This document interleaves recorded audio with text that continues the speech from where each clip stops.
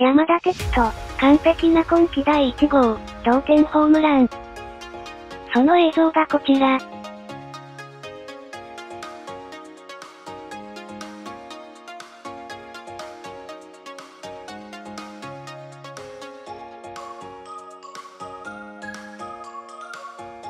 たー。たまんねえな。打球速度はやすぎてカメラをエンクなっとるやん。これはミスタートリプルスリー。これは WBC 山田。これは夏山田。